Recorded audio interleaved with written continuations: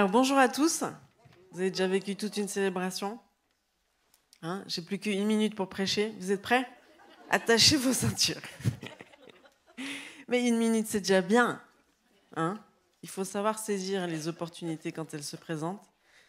Donc, euh, moi, je vais saisir la mienne pour, euh, euh, que Jésus vous touche et que vous repartiez pas le même de cet endroit.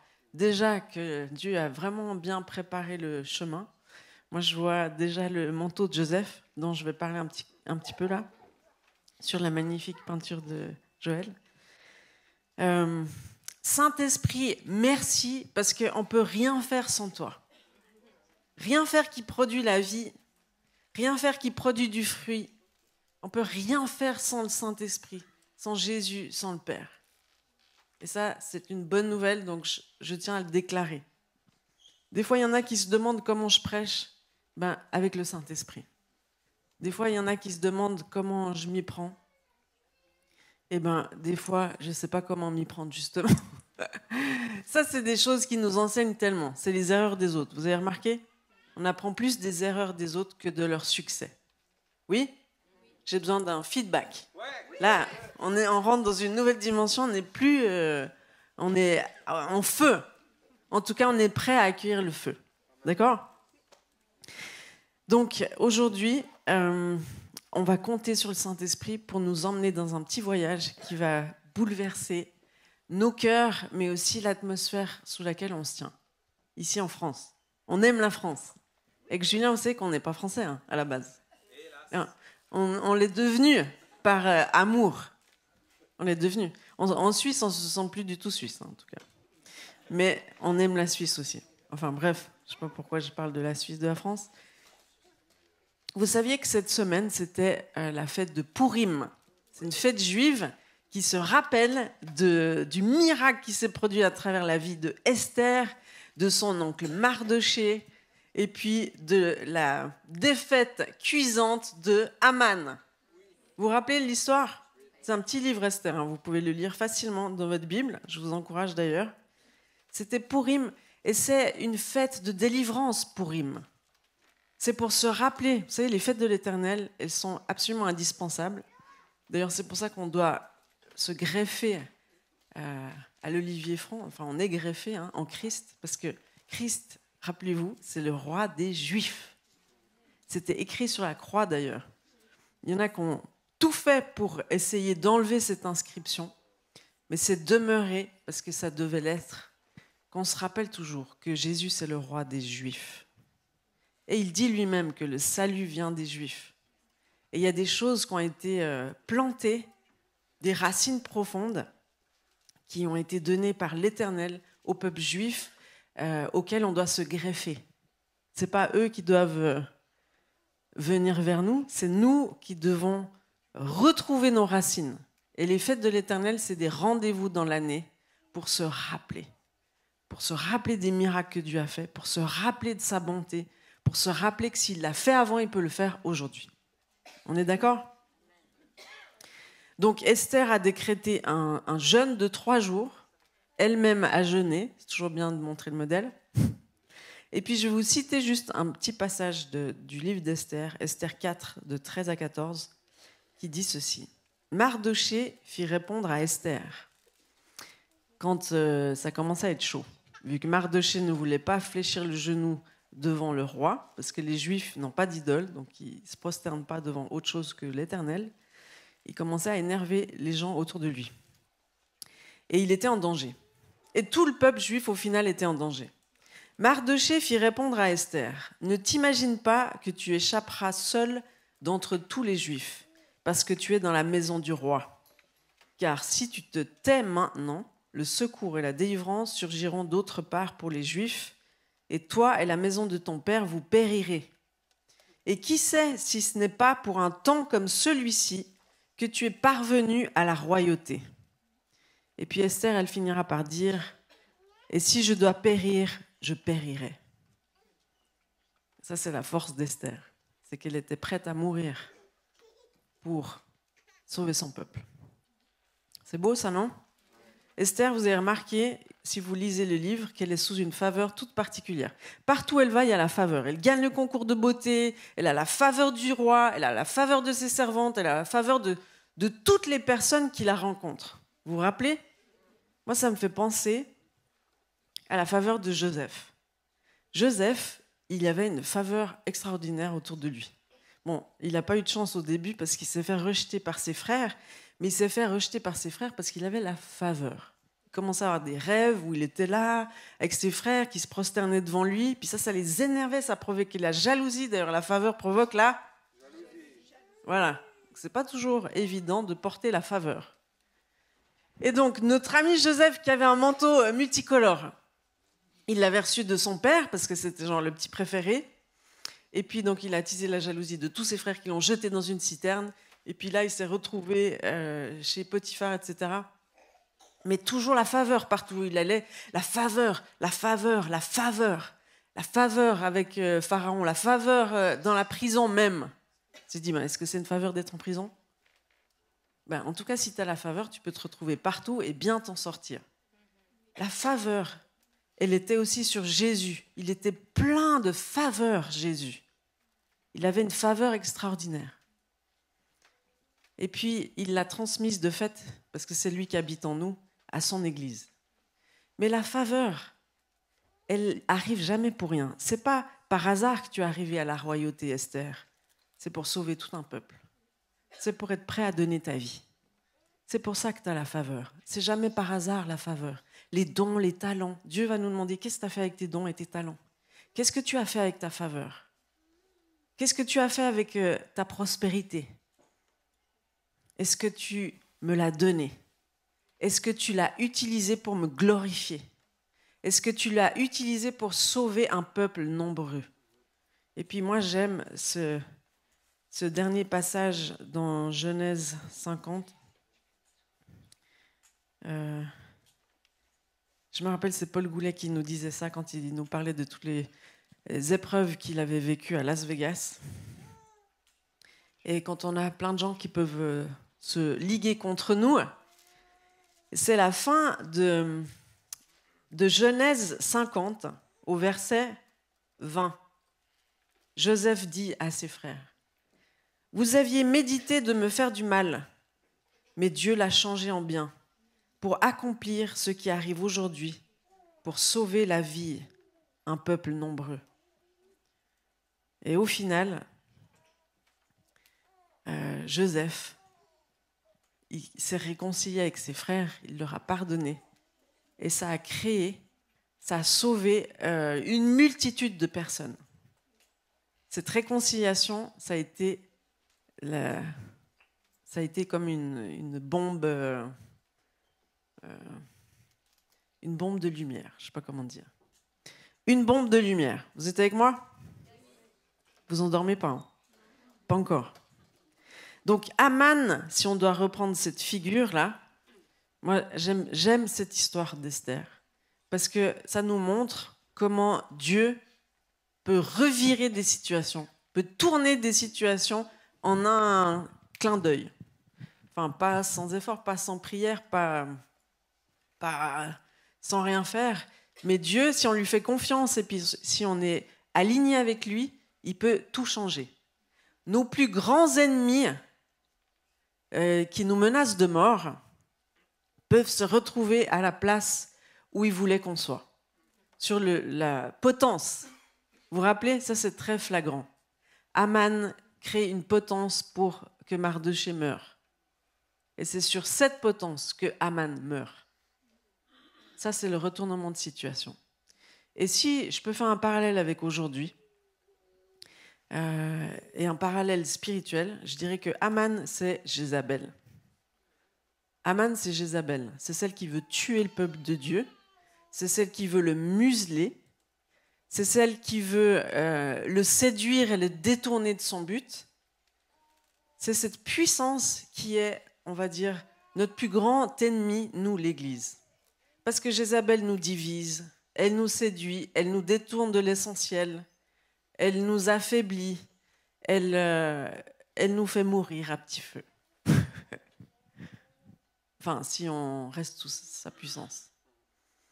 Donc, on va pas bien loin quand on est divisé en tant qu'Église. Vous avez remarqué? On va pas bien loin.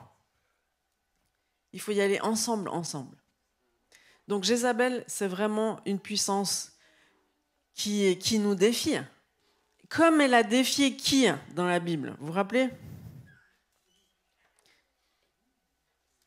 Vous êtes des, férus de, de Bible, n'est-ce pas? Vous lisez votre Bible tous les matins. Oui? Donc, Élie Oui C'est bien. C'est qui qui a répondu? Adèle. Bravo Adèle. Tu as gagné un bon point. Donc, je vais vous lire le passage qui est en fait la fin de l'Ancien Testament, qui nous parle de cet esprit d'Élie. Malachie 4. Vous êtes prêts? Malachie 4, 5. Voici, je vous enverrai Élie, le prophète, avant que le jour de l'Éternel n'arrive, ce jour grand et redoutable. Il ramènera le cœur des pères à leurs enfants et le cœur des enfants à leurs pères, de peur que je ne vienne frapper le pays d'interdit. Donc Élie, c'est celui qui a vaincu Jézabel. Et Élie revient.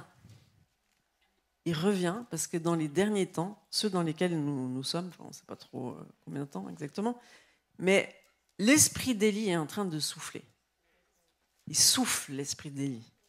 Il souffle, il ramène le cœur des pères vers les fils et le cœur des fils vers les pères. Le signe que l'esprit d'Élie est en train de souffler, c'est quand Dieu il, tourne ton cœur vers ta famille, puis il est en train de te dire, bénis-les, prie pour eux, réconcilie-toi. Et c'est quand Dieu il est en train d'opérer quelque chose à l'intérieur de nous, parce que vous savez, comme ce qui se passe dans nos cœurs a un impact sur le territoire, là où nous sommes, vous vous rappelez, c'est toujours le cas. Quand je vis quelque chose dans la guérison de mon cœur, ça a un impact sur le territoire sur lequel je suis. Comme quand on honore un enfant qui a été avorté ou perdu en fausse couche, je suis en train de ramener la vie sur un territoire qui est maudit constamment par tous les avortements. Donc en fait, ce qu'on fait dans une petite formation comme celle de Zoa, on est en train de regagner du terrain, on est en train de libérer une puissance de vie. Et pourtant, on est en train de parler des choses très secrètes de vos cœurs, de vos entrailles. Comment est-ce possible que des profondeurs telles dans ma vie puisse impacter le territoire sur lequel je suis? Ça, c'est le mystère de Dieu. C'est l'esprit d'Élie. Quand on commence à se soucier de tous ces enfants invisibles, c'est que l'esprit d'Élie est en train de souffler. Quand on considère que nos petits-enfants, moi à 4 ans, moi à 2 ans, moi à 2 mois, moi à 2 mois, j'ai été laissée pendant une semaine à, ma grand-maman pendant que mes parents, ils ont été faire du ski. Ils n'ont pas du tout eu l'intention de me faire du mal, ils voulaient juste se, changer les idées. Mais à l'âge de deux mois, quand tu es seul pendant une semaine sans tes parents, tu souffres profondément d'abandon. Ce que j'ai souffert. Et c'est quand j'ai commencé à me reconnecter avec cette partie de moi qui avait été abandonnée que j'ai une compassion pour les enfants invisibles. Donc Dieu avait utilisé, il avait utilisé une histoire de ma vie pour me réconcilier. Puis après, j'avais une passion, enfin, une passion pour la famille, une passion pour revaloriser l'enfant, une passion pour dire aux parents, et tes enfants, c'est tes premiers disciples. C'est tes premiers disciples. C'est le, jardin que Dieu t'a donné de, de cultiver. Parce que c'est de ce jardin que tu vas récolter des fruits les premiers. Ta famille, c'est ton plus grand trésor. Mais c'est aussi ta plus grande douleur. Quand l'esprit d'Élie souffle, on se réconcilie avec les pertes d'enfants. On se réconcilie avec ses propres enfants qui ont été abandonnés sur le chemin. Parce que quand mes parents, ils ont voulu autre chose que moi, j'ai commencé à jouer des rôles. J'ai commencé à me dissocier et à devenir quelqu'un d'autre. Et puis aujourd'hui, je me demande pourquoi je suis pas en train de vivre la présence de Dieu comme je devrais la vivre, c'est parce que je suis dissocié et j'ai besoin de me réconcilier à l'intérieur de moi-même. J'ai besoin de me réconcilier à l'intérieur de moi-même, d'accueillir tous ces enfants que j'ai abandonnés sur le chemin, qui ont tel tel âge, suivant les traumatismes ou suivant les histoires de vie. Et puis après, j'ai besoin de pardonner à mes parents parce que c'est de leur faute si j'essaie de devenir quelqu'un d'autre. C'est par leurs attentes, c'est par leur pression, c'est par euh, la codépendance, c'est par euh, des relations fusionnelles, c'est parce qu'ils ont voulu que je sois une chose plutôt que de célébrer ma vie unique. J'ai besoin de me réconcilier avec mes parents. Et puis cette semaine, donc j'épargne les détails, mais j'étais là, je pourrais prêcher sur ça, sur ça. D'ailleurs, je devais prêcher le 12, puis après plus, puis j'avais mille sujets de prédication en stand-by. Et puis jusqu'au bout, j'étais là. Jésus, j'ai pas envie de prêcher un message pour prêcher un message. Je veux que ce soit ton propos pour maintenant, parce que c'est important. Et puis je suis tombée sur un truc bizarre. Donc j'ai pas trop fait attention. C'était Exode 21. Vous pouvez regarder dans vos Bibles en papier, si vous en avez. Qui a une Bible en papier Agitez-la. oui, il y en a deux, c'est fantastique, trois. non mais c'est bien de toucher le papier, vous savez Donc, Exode 21. C'est juste après les, commandements. Hein. Les dix commandements, vous les connaissez tous. Ils sont importants, les dix commandements, parce que c'est des frontières, c'est des repères pour nous. Puis les dix commandements, ils nous montrent que si on, dépasse la ligne ou la limite, eh ben, on se brûle. Ça veut dire qu'il y a des conséquences. Peut-être vous me dites, mais ça c'est l'Ancien Testament, ça vaut plus rien. Avec Jésus, on est bien. On meurt pas euh, sur place. Ouais, peut-être que tu meurs pas sur place, mais tu meurs à petit feu dans ton âme. Parce que Dieu, c'est pas par hasard qu'il a donné tous ces commandements. C'est pour ton bien. C'est parce qu'il t'aime. Et il veut pas que tu te brûles les ailes. Donc, je vais juste citer deux. Enfin, déjà, les, dix commandements, vous les connaissez très bien. Mais il y en a quand même un très important euh, au verset 12 de Exode 20, c'est le cinquième commandement. Honore ton père et ta mère afin que tes jours se prolongent dans le pays que l'Éternel ton Dieu te donne. C'est-à-dire qu'il y a une puissance de vie dans l'honneur et puis ça cible le père et la mère. Alors plus loin, on regarde au verset 21 au chapitre 21, verset 15, c'est écrit Celui qui frappera son père ou sa mère sera puni de mort. Oh Puis après, je lis un peu plus loin Celui qui maudira son père ou sa mère sera puni de mort. Waouh Je dis Ok. Donc je laisse un peu ça. Euh, je, me, dis Oh, bon, je me suis trompé là. C'est pas Dieu qui m'a parlé. je vais prêcher sur euh, autre chose. Puis après, ça fait son chemin. Et puis, je me rappelle que c'est tout un processus, hein, les parents. Déjà, il faut sortir des liens toxiques, des codépendances, et puis des... On ne sait plus euh, si on est absorbé par la mère ou si on est bien différencié d'elle. Et ça, ça peut encore être le cas à vous, les hommes ou, certaines femmes. Hein, vous vous dites, bah, qu'est-ce qu'elle raconte? Mais c'est une réalité. Il faut d'abord être affranchi de ses parents pour pouvoir voir clair. Et puis après, il faut pouvoir exprimer tout ce que son cœur ressent. Donc hier, j'étais là, Jésus, pourquoi je t'entends pas? Pourquoi je t'entends pas? Pourquoi je t'entends pas? Il dit, pardonne à ta mère. Oh. Et puis cette semaine, comme par hasard, sur Vinted, on veut m'acheter cette veste, qui était sur Vinted depuis 150 ans, que je mettais à un prix hyper bas. Et c'est la veste que ma mère avait à 18 ans. Et je ne pouvais pas la voir, en fait. Ma mère, elle, elle est décédée hein, depuis trois ans, dans cette période où je prêche là maintenant. Et puis, euh, ça fait des mois que David il me dit faut écrire une lettre à ta mère, faut écrire une lettre à ta mère. Oui, David, bien sûr. Un autre jour.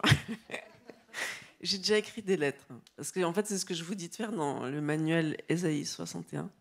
Si vous l'avez lu, vous savez que les lettres, c'est très puissant. Mais là, je suis en train de l'expérimenter dans une autre dimension. Donc, merci beaucoup. Donc hier, j'ai écrit une lettre de cinq pages à ma mère. J'ai dit, Saint-Esprit, vas-y, fais ton œuvre, que je puisse me sentir légère, libre. Parce que quand on te dit, bon chrétien, tu dois pardonner, pardonner, alors tu répètes, répète après moi, je pardonne. Mais si tu n'es pas prêt, puis si surtout tu n'as pas exprimé l'offense au préalable, tu n'es pas prêt à pardonner. Il faut d'abord vider ton sac. Vider ton sac, vider, vider, vider, vider, vider. Ne pense pas que ce que je suis en train de dire ce soir ne te concerne pas. On est tous absolument concernés. On doit tous absolument réintégrer des petits-enfants qu'on a abandonnés sur le chemin, nous-mêmes, pour être vraiment nous-mêmes. Parce que Dieu, il ne peut pas utiliser quelqu'un d'autre que nous-mêmes comme lui l'a créé. Dès avant la fondation du monde, il nous a créés dans la joie, dans la bonne humeur, dans l'excitation totale.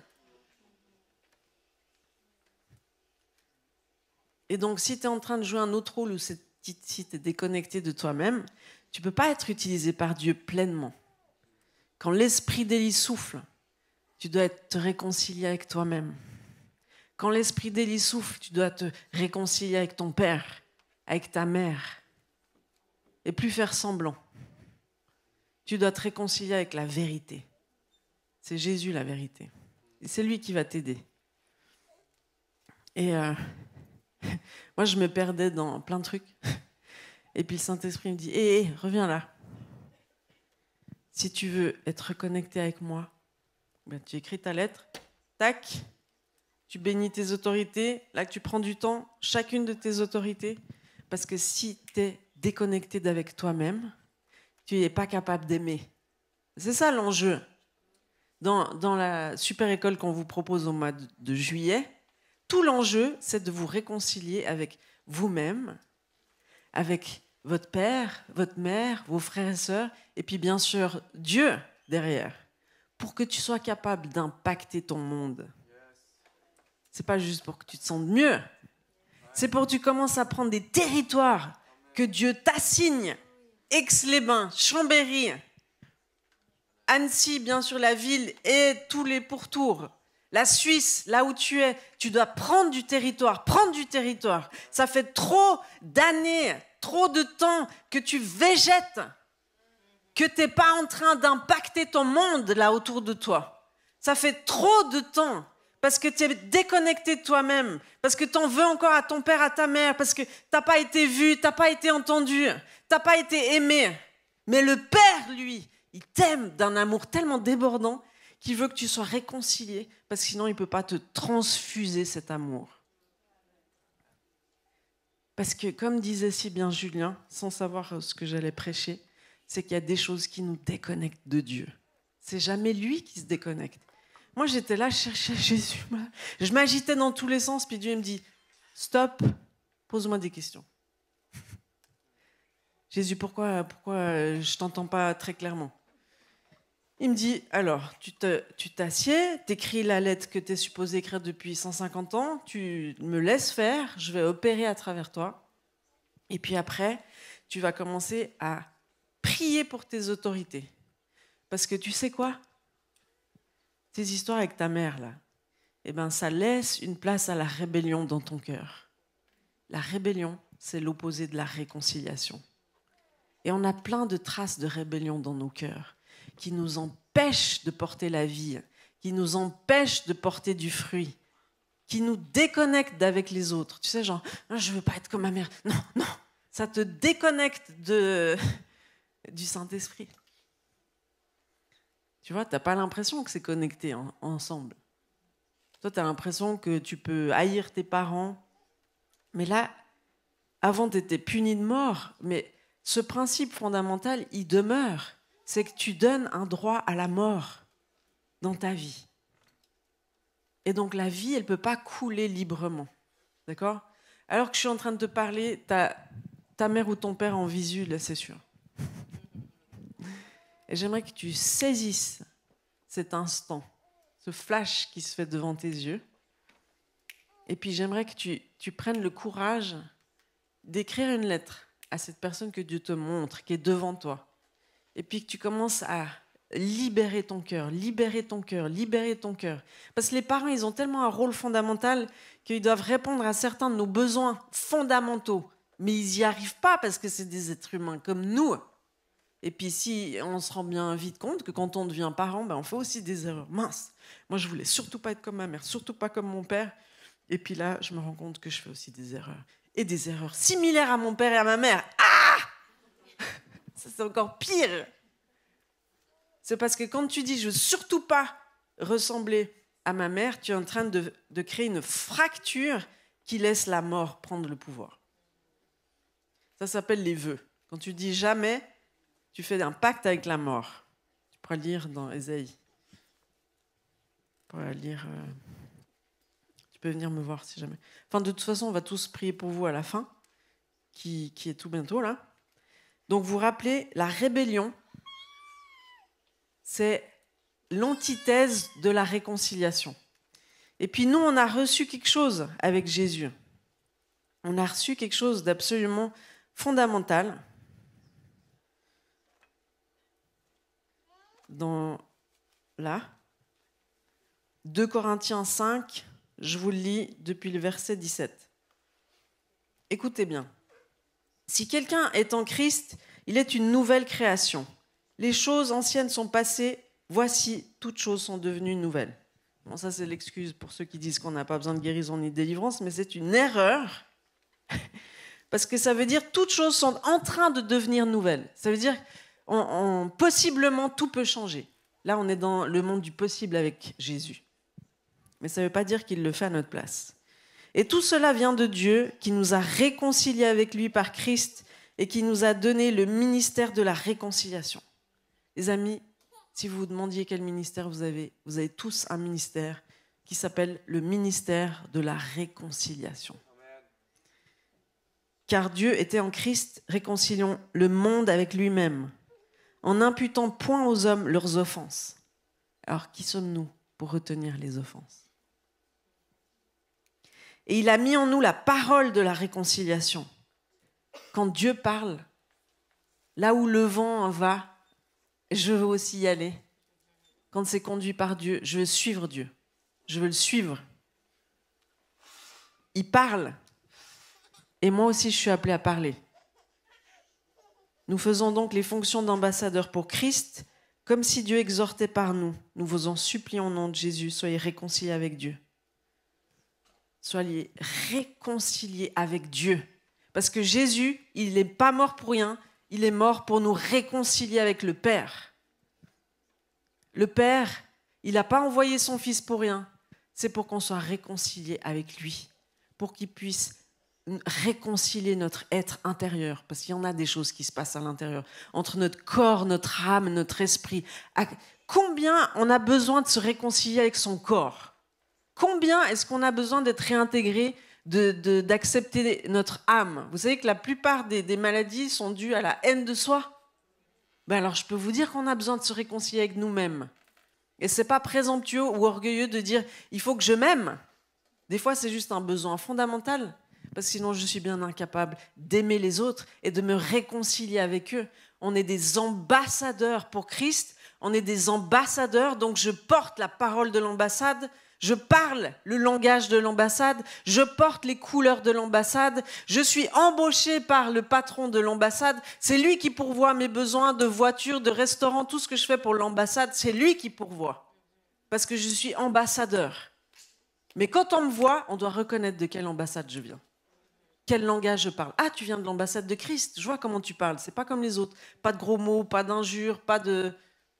Hein que ce soit à la maison ou à l'église constance, fidélité, intégrité, puissance, joie, amour. Jonathan Edwards, j'aime bien lire les, histoires des hommes de réveil, ça m'inspire beaucoup. Il disait, euh, la preuve d'une conversion, c'est quand je vois une personne qui aime. Il y a de l'amour qui sort d'elle. Ça, c'est la preuve.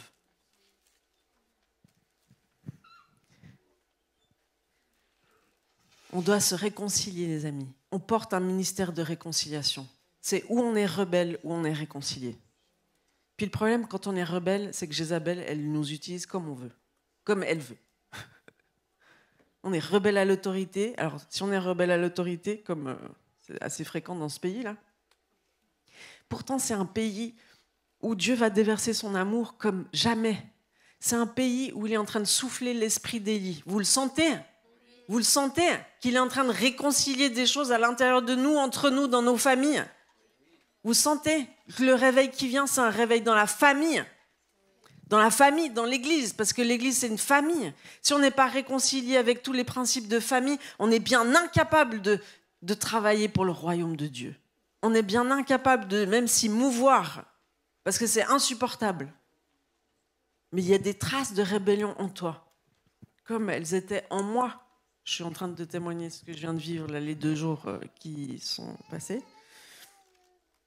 Donc, je sens que le Saint-Esprit, ça ne veut pas dire que la vie est plus facile, mais je sens le Saint-Esprit qui est tout prêt. À peine je me pose une question, il est là. Hum. Il est tout prêt. Donc si tu sens pas le Saint-Esprit tout prêt, c'est qu'il y a une brèche qui s'est faite. Ou qu'il y a une connexion qui n'a jamais été faite. Donc si c'est le cas, j'aimerais que tu te lèves maintenant. Si tu veux plus de communion avec le Saint-Esprit, et je peux vous déclarer tout de suite qu'il y a toujours plus de communion avec le Saint-Esprit. J'aimerais vous dire que Dieu, il est sur le point, comme euh, Jean-Baptiste le disait, mais moi je suis bien euh, incapable, je ne suis pas digne de délier ses souliers. Moi je vous ai baptisé d'eau, mais lui va vous baptiser d'esprit et de feu. Il va vous baptiser d'esprit et de feu. Et pour pouvoir remplir votre réceptacle, parce que vous êtes des tabernacles, Christ en moi, en vous, l'espérance de la gloire. Ça, c'est un des plus grands mystères, un des plus grands mystères de, pour les païens. C'est Christ en moi, l'espérance de la gloire. Et puis, vous savez avec qui on va se réconcilier? Avec les Juifs. On va leur témoigner à fond de Jésus. On va leur dire, ton roi m'a sauvé. Ton roi m'a sauvé. Ton roi m'a sauvé. Est-ce que tu veux savoir comment? Parce qu'une des questions qui va revenir le plus, préparez-vous, c'est comment est-ce que je peux être sauvé? Donc, c'est important de travailler la question avant. Donc, le, le mystère le plus incroyable, c'est Christ en moi, l'espérance de la gloire. C'est Christ en moi. Donc, moi, je suis une habitation pour Jésus. Vous pouvez mettre vos mains comme ça sur votre ventre c'est là que ça se passe, c'est le lieu de l'esprit. Christ en moi, l'espérance de la gloire. Dieu, il cherche une habitation. Il cherche vous. Vous êtes un tabernacle vivant. Donc vous êtes un vase d'argile. Et la chose la plus glorieuse que vous puissiez recevoir en vous, c'est Christ. Après, c'est lui qui parle, c'est lui qui agit, c'est lui qui bouge. Vous devez juste suivre et vous soumettre. Mais pour être soumis, il faut être réconcilié. Pour être utilisé par Jésus, il faut être réconcilié. D'accord? C'est le plus beau ministère. Parce que c'est un ministère d'amour très puissant. C'est le travail de Jésus. C'était l'ultime réconciliateur. Et puis il attend de nous qu'on soit aussi des réconciliateurs. Entre les noirs et les blancs, entre les jeunes et les vieux, entre euh, euh, toutes les races, entre toutes les générations, entre euh, toutes les langues, entre toutes les nations. Pourquoi Dieu veut nous donner les nations en héritage? Parce qu'il sait que si nous les donne, on va les réconcilier. Donc si tu veux être un ministère de réconciliation, avance-toi. Ici, comme une déclaration, oui, je veux être un ministère de réconciliation, ça veut dire que tu es prêt à travailler sur toi pour réintégrer tes petits-enfants, pour pardonner à tes parents de manière claire, d'écrire des lettres. Tout ce qui est écrit dans le manuel Ésaïe 61, si jamais tu as besoin de savoir comment t'y prendre. Viens, viens, viens, il y a un appel solennel pour toi. Tu veux être un ministère de réconciliation? Alors réponds Oui, je le veux Voilà. Il faut engager avec Jésus. Il nous voit Là, il est en train de prendre, comme disait Carlos Payan, il est en train de prendre des photos, il vous a tous vus et vous êtes tous placardés dans la ville. dans la ville de la Jérusalem céleste.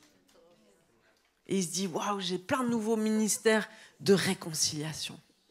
D'accord? Donc tu peux pas être chrétien et plein d'amertume. Non, ça c'est pas possible. Tu peux pas être chrétien et tout dissocier où tu joues des rôles tout le temps, comme tu as fait dans le monde. Non, ça c'est pas possible. Il faut que tu sois réconcilié avec toi-même. Il faut que tu découvres que le vrai toi, c'est la chose la plus extraordinaire qui ait jamais été créée. En toute humilité. Voilà, c'est fini.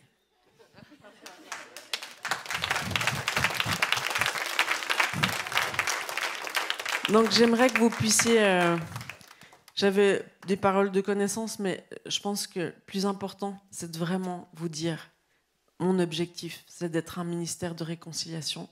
Et je vais aller voir euh, David, Émilie, Claudia bientôt pour opérer cette réintégration à l'intérieur de moi, si j'ai l'impression de marcher à côté de ma vie. Et puis de commencer à écrire des lettres à votre père, à votre mère, ceux que vous avez vus devant vos yeux. Et si vous sentez que vous n'avez pas le droit d'écrire ces lettres, c'est que vous êtes sous leur joug. Donc brisez les liens d'âme, brisez toutes les, les vœux, les choses comme ça. Vous savez, c'est important tous les entretiens qu'on fait là-bas. Le but, c'est de libérer des destinées, de libérer des ministères de réconciliation. Puis si vous n'avez pas le temps dans la journée, ben vous pouvez booker les trois semaines au mois de juillet, parce que là, ce sera une intensive levée de ministères de réconciliation pour commencer à impacter cette terre. On ne peut pas passer nos vies sans impacter notre entourage, sans parler de Jésus à ceux qui sont autour de nous. Nos collègues, nos voisins, là, vous les avez invités à l'église? Il faut les tirer à l'église, les mettre dans la voiture, fermer la porte, clé. Hein Il faut prier surtout. Il faut être aussi attractif, hein joyeux, aimant. C'est ça qui fait que les gens nous suivent après. Donc, vous pouvez répéter après moi, Jésus, oui, je veux que tu opères en moi le miracle. Fais de moi un ministère de réconciliation. Conduis-moi sur ton chemin de guérison et de délivrance. Que je passe plus à côté de ma vie, mais que je puisse porter du fruit Mhm. Ben, merci Saint-Esprit, parce que tu poursuis chacun, chacune. Et c'est toi qui en fais des ministères de feu pour réconcilier l'homme et la femme aussi. Ça, c'est une réconciliation majeure.